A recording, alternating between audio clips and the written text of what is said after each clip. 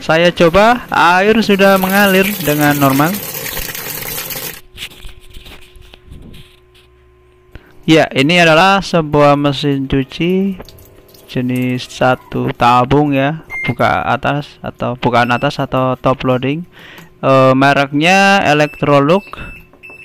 Untuk kerusakannya, mesin cuci ini tidak bisa mengalir airnya.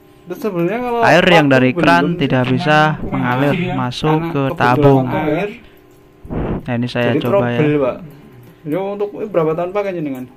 Jadi boleh dikatakan Nah ini sangat kecil sekali jadi nggak normal 5 atau 7 tahun. Makanya saya tak kasih judul air tidak mengalir Nah ini kita coba Nah, ini lihat Ya ini ini kan satu ke satu. Satu ke satu. eh, kemungkinan kerannya yang Iya, ini kotor menyatu, Pak, dengan ini. Tapi Yang tadi saya juga. tanyakan kepada pemiliknya bahwa dia sudah ini bagus, membersihkan Kayak tadi normal tuh. yang untuk Iya. solenoid atau keran otomatisnya yang ini. Saya coba airnya ya. Saya lepas, saya akan coba airnya bagus atau tidak. Jika airnya bagus, sudah dipastikan bahwa ah, airnya bagus ya. Jadi tadi eh, itu normal, kemungkinan besar ini sudah kayak gitu pasti terus Pak kalau nggak diganti. keran atau solenoidnya yang bermasalah. Nah, ini saya sudah lepas. Ini sangat kotor sekali ya dan saya ini lihat ada dua lubang dan saya tanyakan kepada pemiliknya tadi bahwa pemiliknya telah melubanginya dengan obeng dengan harapan bahwa eh, bisa lancar. Namun ini sebenarnya malah merusak.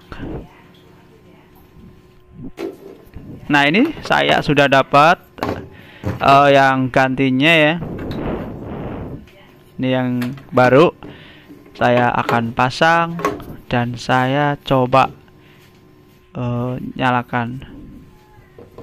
Ini yang lama ya. Sudah sangat kotor dan berlubang saringannya.